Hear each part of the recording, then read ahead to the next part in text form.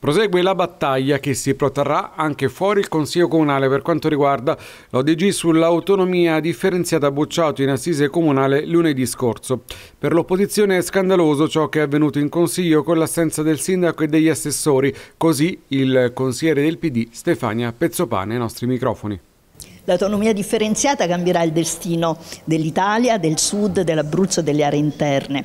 Abbiamo voluto promuovere un dibattito a più voci, non isolandoci, ma anzi dicendo a chi sta governando, quindi ai nostri parlamentari della maggioranza oltre che a quelli di minoranza, ai nostri eh, rappresentanti in regione della maggioranza, cioè del centrodestra, di venire a dirci le ragioni per cui lo stanno mandando avanti, se ragioni ce ne sono, a farci capire quali sono i vantaggi. E invece non sono venuti, quindi non ci sono vantaggi. Probabilmente si vergognano di venire a un confronto in consiglio comunale in cui noi avremmo detto guardate che ci tolgono i soldi e loro cosa avrebbero detto? Forse proveremo a non far togliere i soldi, nemmeno questo ci hanno detto.